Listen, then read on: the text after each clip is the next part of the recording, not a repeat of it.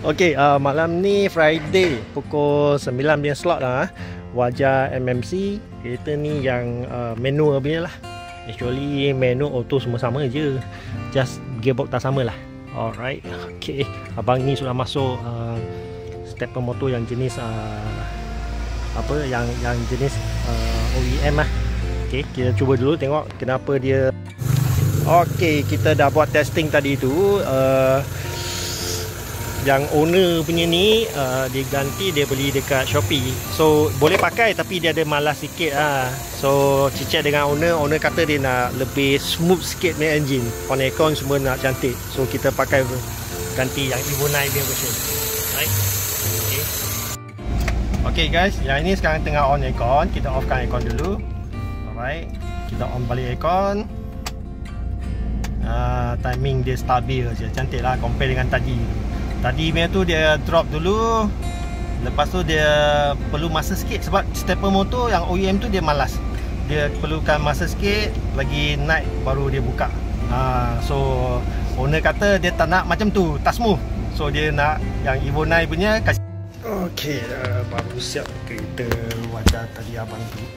Abang tu kelakar tu agak Okay, dia beli uh, Shopee punya stepper motor So stepper motor tu ada kurang smooth sikit lah. Pakai tu boleh pakai Just kadang-kadang kita on aircon Aircon compressor kit in real time kan. RPM dia jadi rendah dulu Tapi dalam 3 ke 5 saat baru dia naik balik. Sebab dia dia malas. Sebab mungkin dia punya uh, mot, apa dia punya motor dekat dalam tu dia ada jam ke atau dia kasar sangat dia pusing dia time dia kena take time sikit.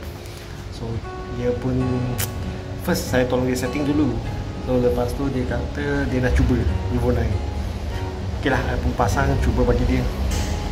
First uh, dah siap buat, buat setting semua tu. On aircon je halamak senang hati dia suka hati dia. Sebab dia nampak dia punya RPM tu lebih stabil daripada sebelum ni. So ada beza lah uh, kalau Evo 9 dengan yang uh, kopi OEM tu so sekarang uh, dah siap lah. So baru siap. Je sekarang pun pukul 11 dah. Pukul 9 testing check in uh, lepas tu buat setting untuk dia punya step motor yang dari Shopee tu. So lepas tu test drive ada kurang sikit dan kita ganti Evo 9 ah, sedap lah. Test drive satu kali ah, memang senang hati dia dah. Tak takut dia punya uh, masa driving tu dia ada low RPM dah so gila cantik lah. So thank you boss. Thank you support Ayo Malan dengan IP service thank you very much. Ok guys. Bye bye sampai sini saja